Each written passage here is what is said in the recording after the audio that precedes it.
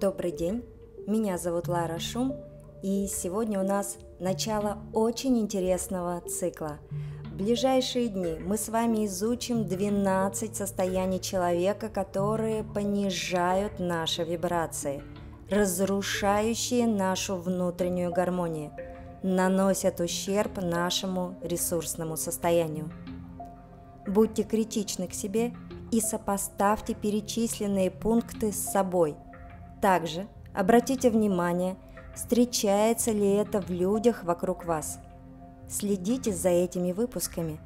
Что-то для вас будет весьма полезно, что-то вы можете применить лично для себя. Подписывайтесь на мой канал, ставьте лайк и расскажите об этом видео на своей любимой странице в соцсетях – Facebook, Одноклассники, Контакт. И первое состояние, понижающее наши вибрации, это сожаление. Сожаление, оно буквально сливает нашу жизнь. Это может быть упущенная возможность, о которой вы вспоминаете годами, либо плохие отношения, в которых вляпались по наивности или неопытности – Выбор, который вы могли сделать, но почему-то так и не решились. Глубокая причина сожалений связана с тем, что мы рисуем в своем воображении идеализированную версию себя. Именно поэтому мы и не можем смириться с моментами, когда не соответствуем созданной картинке. Давайте посмотрим на это с другой стороны – все мы полагаем на сто процентов, что являемся хорошими людьми, даже если твердим себе и остальным обратное.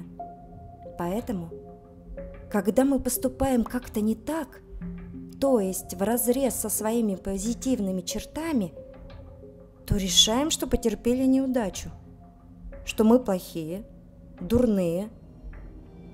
И в этом состоит наша главная ошибка – влекущая вибрации сожаления. Достаточно принять реальность и непредсказуемость жизни, и все изменится. Не гонитесь за собой безупречным. Полюбите и примите одновременно себя хорошего и себя плохого. Попробуйте найти баланс между этими двумя гранями вашей личности. Вам это под силу. Задумайтесь. И цитата из фильма «Загадочная история Бенджамина Баттона». «Я приучила себя смотреть вперед и ни о чем не сожалеть». С вами была Лара Шум. Хорошего вам дня!